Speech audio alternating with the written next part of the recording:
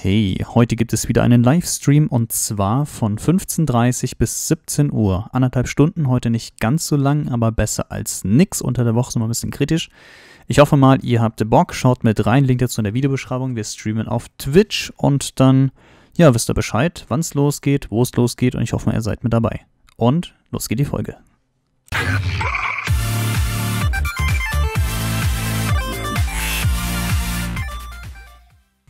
So, hallo an alle zur nächsten Folge von Crafted Deck 5 und heute ist ein bisschen Zeit, glaube ich, vergangen seit der letzten Folge. Ich habe einen Tag Pause gemacht, weil ich einen Tag vorher zwei aufgenommen hatte und in der Zwischenzeit haben wir eine Lieferung vors Haus bekommen. Der liebe Zinus hat uns mal gesagt, wir sollten einen Blick dort hineinwerfen, aber vorsichtig aufbauen. Ich habe schon gelesen, da stand was vorne dran. Pass auf, im letzten Stream hatte ich mit ihm geredet und da ging es um Dschungelbaum Papageien. Ich habe die harte Vermutung, dass da ein Papagei drin ist. Ähm, folgende Geschichte. Früher konnte man Papageien mit Keksen zähmen, aber das wurde entfernt. Äh, aktuell sind es Seeds und deswegen würde ich mal hingehen und gucken, ob da einer drin ist und ich hoffe auch mal, dass es noch ein ungezähmter ist. Er hat geschrieben, hallo, das war hier ein kleines Geschenk, viel Spaß mit Achtung von, äh, von Öffnen, vor dem Öffnen vorsichtig sein von öffnen. Liebe Grüße, Tinos. Ich habe gerade schon ein Papagei-Geräusch gehört und ähm, ich vermute mal, dass das klappt, aber ist er schon gezähmt oder ist er nicht gezähmt? Ich hoffe, er ist noch nicht gezähmt. Ha, ein kleiner grüner Papagei. Kann ich ihn zähmen? Nein, ich kann ihn nicht zähmen. Ah, okay. Er ist schon gezähmt, ja. Naja, er läuft halt auf Zinus. Das ist ein bisschen schade, weil ich kann ihn nicht bewegen. Er sitzt halt und ich kann ihn nicht hin und her schieben. Es wäre cool, einen auf mich programmiert zu haben. Ich werde vielleicht selbst nochmal gucken, ob ich ähm, im Dschungelbiom einen eigenen finde oder so. Aber äh, ja, das ist etwas problematisch. Ich kann ihn tatsächlich nicht tamen. Ja, ich, ich muss ihn irgendwie in... Ich versuche ihn mal in mein Haus jetzt gleich reinzuschieben. Dann kann ich ihn da als Eingangswächter behalten. Aber ah, ich zähle ihn irgendwie nicht als mein Papagei. Das ist schade. Er ist eigentlich Zinus. Das ist, ja. Vielen Dank, Zinus, trotzdem. Ich werde ihn mir vorne an den Eingang stellen, aber mich auch mal bei Gelegenheit selbst auf die Suche machen nach einem solchen Federvieh. Ich meine, ja gut, einen ungezählten Papagei jetzt doch kaum hierher gekriegt. Es sei denn, vielleicht mit einer Leash. Kann man die vielleicht an die Leine nehmen? Das wäre vielleicht auch möglich. Ich kann ihn halt schlecht davon stehen lassen, deswegen schieben wir ihn mal äh, dort hinein. Außerdem kann ich ein kleines Update noch geben von meiner Hexenfarm. Wir waren ja dran, diese zu bauen, allerdings habe ich sie bereits im Stream... Oh, komm. Allerdings habe ich sie bereits im Stream... Okay, so geht's viel besser im Sneaken. Im Stream habe ich sie beendet. Oder schon fertig gebaut. Das heißt, sie funktioniert, ist fertig und bereit. Und ich kann mich da theoretisch nachts einmal AFK hinstellen. Und ich, ich, ich hänge ihn mal, ich schiebe ihn mal ein bisschen weiter mit rein. Vielleicht, ja, ich kann ihn nirgendwo hochschieben, ne? Obwohl vielleicht Stufen. Ja, ich, ich stelle ihn hier in die grünen Kartoffeln irgendwo. Vielleicht nicht unbedingt ins Wasserloch, aber und ich habe die schon ein bisschen getestet. Also super effektiv mit massenhaft Items wie in der Goldfarm ist es halt nicht. Hexen spawnen eigentlich so häufig, da kann man nichts machen. So, ich lasse ihn mal da stehen, der Hecke. Aber ich habe mich mal so ein bisschen hingestellt, ich weiß nicht, wie viel das war, ein, zwei, zwei Stunden oder so. Und in der Zeit ist das alles zusammengekommen. 42 Gunpowder, 32 Redstone, 34 Glowstone, 35 Zucker, 32 Spinnaugen und 34 Glasbeutel. Also ungefähr etwa gleich viel von allem, weil so ist halt die Verteilung von dem von den Geräten. Ich müsste mal meine Spitzhacke gleich reparieren. Und was ich auch noch am Vorbereiten war, ich wollte mal, oder das war auch die Frage von euch, ein Tutorial machen von ähm, einer Goldfarm. Also so wie Basti die jetzt beispielsweise gebaut hat. Ich habe die noch ein bisschen optimiert und abgeändert. Beziehungsweise ein eigenes Design gemacht, wo du die Zombie-Pigmen halt mit Schwertern eigens killst. Das werde ich demnächst auch noch bald hochladen. Da wird es wieder noch ein Tutorial geben und ich habe gerade so viel zu tun und machen gemacht und hier und da und ihr seht auch schon die nächste Neuerung, was wir ebenfalls gemacht haben. Es ist so viel passiert, schaut euch mal unten an. Wir haben die, die Seen verbunden, so wie ihr es haben wolltet und hier können wir jetzt dann tatsächlich noch ein bisschen weiter, oh, ist eine Kuh, ein bisschen weiter mit ausbauen. Was ich noch vorhatte, vielleicht diesen Berg etwas zu minimieren und abzutragen, kommt vielleicht im heutigen Stream mal gucken. Und dann hier unten besser connecten, Brücken bauen, die Ränder ein bisschen schöner gestalten, dies und das und volles Programm eben und da wäre ein bisschen was bauen. Hier die Ecke konnte ich nicht mit abbauen, muss wieder voll bauen, weil unten drunter Riols Keller ist und äh, dem wäre sonst Wasser reingelaufen. Deswegen habe ich da den Berg etwas nach vorne verlängert. Vielleicht kann ich ja auch so ein bisschen halb abtragen und einen Weg dann dahin bauen, dass man dann, ja, keine Ahnung, bis nach da vorne kann und so weiter und so fort. Aber ja, was, ähm, was findet ihr besser? Das Bild aktuell von oben, wenn man sieht, dass wir einen riesen oder einen großen See hier in der Stadtmitte haben, so wie aktuell ist, oder vorher halt das zerklüftete Gebiet mit Creeper-Löchern und Bäumen und alles zugebucht. Du hast keine Übersicht gehabt. Jetzt kann ich sehen, da ist Eve, da ist Riol, man kann hingucken. So wenige, äh, nicht wenig, doch so weiß kann man auch hingucken, wenig da oben. Äh, kann, man hat mehr Übersicht. Es sieht einfach ein bisschen großflächiger vielleicht aus. Okay. Ähm, das war die andere Geschichte. Könnt ihr ja, es ist äh, viel passiert die Tage. Ach genau, um meine tägliche ähm, Routine beizubehalten, sollte ich vielleicht nochmal einen Blick nach unten werfen in die Eisenfarm. Wie viel ist drin jetzt am heutigen Tage gesammelt worden? Trommelwirbel, ich hoffe, man sind kein anderer raus, weil dann habe ich einen schönen Vergleich immer. Trommelwirbel. Ja. Da ist aber schon mehr drin teilweise. Das ist ein bisschen, bisschen seltsam. Ich habe die eigentlich nicht entleert, aber hm, kann sein, dass da nicht so viel zusammengekommen ist, weil die Chunks nicht geladen waren, nicht so viele Leute online sind. Rotpilz ist gerade drauf, aber ich glaube, der ist AFK, eine Angelfarm oder so. So, die Seeds kann ich ebenfalls wieder zurücktun. Dann war das gerade richtig? Ich glaube ja. Äh, oder? Ich gerade da oben unten Grünzeug essen? Nee. Okay. Das passt, denke ich mal. Red Terracotta zähle ich mal zu Building Blocks. White Concrete zähle ich da rein. Und ich zähle mal die Schilder hier zurück. Okay. Dann ähm, Werkzeuge aufladen für eine Wohltat und dann schauen wir uns nochmal die Hexenfarm an im fertigen Zustand, wie sie eskaliert. Beziehungsweise ich habe auch schon dazu ein Tutorial gemacht, aber ich würde es euch nochmal hier zeigen, wie ich es hier gemacht habe. Und dann würde ich sagen, ab zu Basti nach oben ins Portal. Und ich habe immer noch keine Verbindung gefunden, wie ich von meinem Hauptportal zum zu, zu ähm, durch den Nether nach oben komme. Das ist ein bisschen schade. Ich würde übrigens vielleicht sogar folgendes machen, bevor ich jetzt hochgehe. Ich würde immer mal einen Minecart sicherheitshalber mitnehmen, eine Schiene und einen Minecart mitnehmen, weil man nie weiß, ob nicht oben irgendjemand das abgebaut hat und man dann drin suffocated. Das wäre so ein böser, so eine böse Geschichte wäre das. Ähm, habe ich denn die Minecarts reingelegt? Habe ich die hier mit reingetan? Nee, äh, bei Redstone müsste mit drin sein, so. Und meinetwegen, komm, ich, ich nehme das einfach mit, so als sich, zur Sicherheit immer, wenn ich jetzt zur Nether-Decke hochgehe.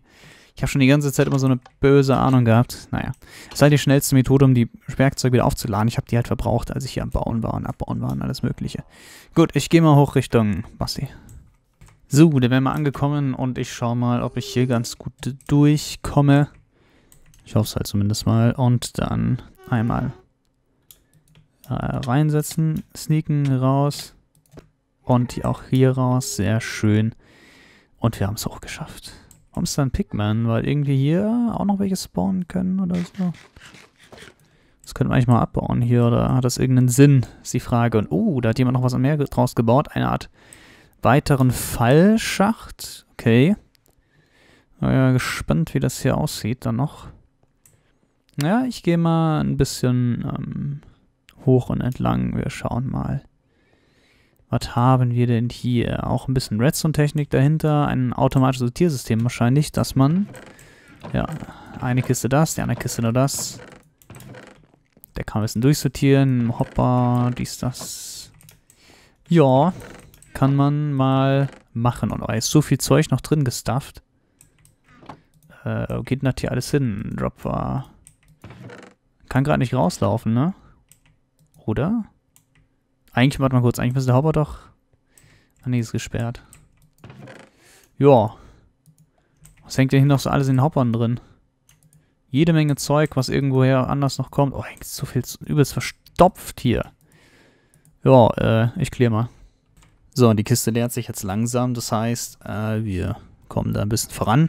Ich glaube nur, es staut sich hier oben. Ganz ehrlich, diese Goldschwerter braucht man eigentlich gar nicht in einem Verbrennungsmechanismus durchbrennen. Man kriegt halt immer einen Nugget oder so raus, aber das dauert so lang. Und wenn die Kiste hier oben voll ist, dann wird auch hier sämtliche Hopper noch zwischendrin voll sein. Und das ist, äh, ja, ein bisschen schlecht, weil dann stackt sich das bis komplett vorne hin. Alles ist voll und äh, ja, das ist nicht so praktisch dann eigentlich. Egal. Ich habe die ganze irgendwie Gasgeräusche gehört, als ob da oben irgendjemand drin hängt oder so. Wir, wir, wir, schauen mal, was hier ansonsten noch weiter mit passiert ist. Dann heißt es erstmal nach oben klettern und wir sehen uns gleich oben. Okay, oben angekommen sieht eigentlich alles so aus wie immer. Das heißt, ab sofort. Boing. Kommt bei, liebe Zombie-Pigmen, ihr Armeen von Viechern und ab geht's nach unten. Sagt uns, als würden die hängen bleiben, aber ne, es funktioniert ganz gut. Er schlockt ein paar an, sammelt den EP und dann sehen wir uns unten wieder. So, ich denke mal, dass das jetzt langsam reicht, bevor es hier anfängt zu laggen. Hier sind massig Pigmen angekommen und dann gehe ich mal runter und ja, in der Hoffnung, dass ich jetzt äh, Level 10.000 werde. Ich ziehe mal meine Rüstung aus. Beziehungsweise die Schuhe lasse ich gerade an, bis ich nicht festen Boden unter mir habe. Dann gucke ich mal, dass ich am meisten halt einfach jetzt EP sammle und auf meine Spitzhacke kriege. Und äh, ja, da unten liegen jetzt massig EP. Vielleicht schaffen wir Level 60 oder so. Wäre ganz cool. Mit reparieren. Mit reparieren und Level 60. Stand hier oben in Weichen. Das könnte echt hardcore werden hier und so. Okay, wartet. Gleich geht's richtig ab wieder. Äh, jetzt kann ich die Schuhe ausziehen, weil ich bin einigermaßen safe, dass ich hier, glaube ich, nicht sterbe sofort. Und Achtung auf die Spitzhacke. Oh, oh, da ist ein Enderman, den darf ich nicht angucken. Ja, Spitz... Spitzhacke füllt sich instant auf. So, und jetzt auf Schaufel wechseln gleich. Schaufel gewechselt. Gut, das ist halt Priorität, die Schaufel hier. So, Schaufel ebenfalls gleich voll. Axt hat kein Mending, deswegen die nicht. Jetzt auf Bogen. Sehr gut. Und jetzt kann ich einfach nur meinetwegen Brustplatte kurz ausgewählt lassen, Helm kurz ausgewählt lassen, so. Und jetzt einfach den Rest noch in mich reintanken. 53. Na, ich glaube 60 wird knapp. Ich glaube 60 wird echt knapp. Das schaffen wir nicht. 54.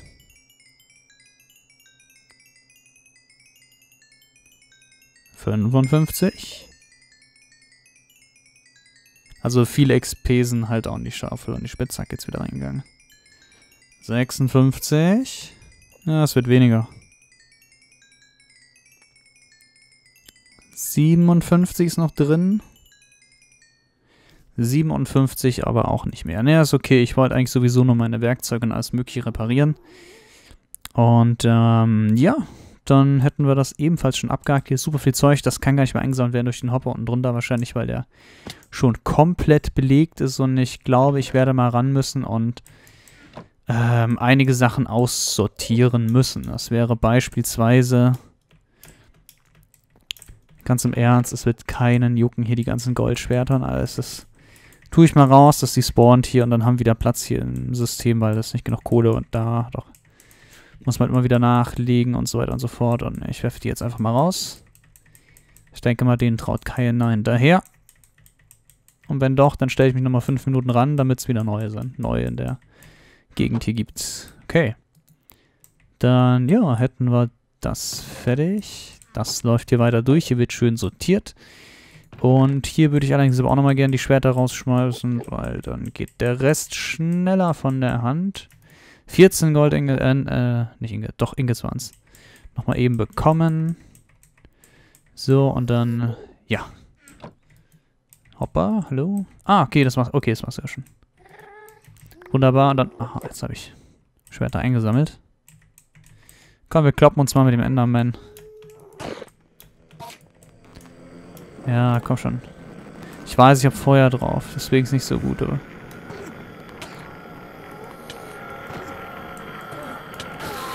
Okay. Damit ich die ein oder andere Enderperle rauskriege, zwei habe ich bekommen, das ist okay. So.